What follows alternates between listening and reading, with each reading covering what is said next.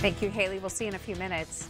An investigation underway after a gardening truck was stolen outside of a Desert Hot Springs home. It happened Thursday morning in the area of Avenida Cadena and Santa Cruz Road. Take a look at surveillance video provided to us by Nick Avagianos.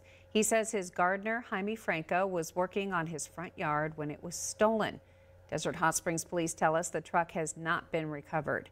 You can find a GoFundMe page for Franco on our website, kesq.com.